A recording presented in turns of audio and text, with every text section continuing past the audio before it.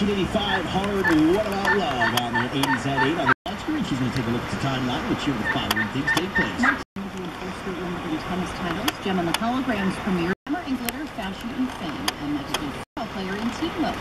Whitney Cheer was 1985-1986 release next. This report is brought to you by your neighborhood Aldi grocery store.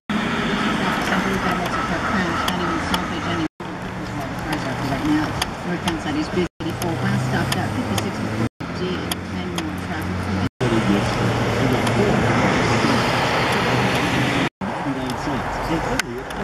Simply smarter. Your local traffic anytime from the Modern Tire Connecticut Traffic Hub.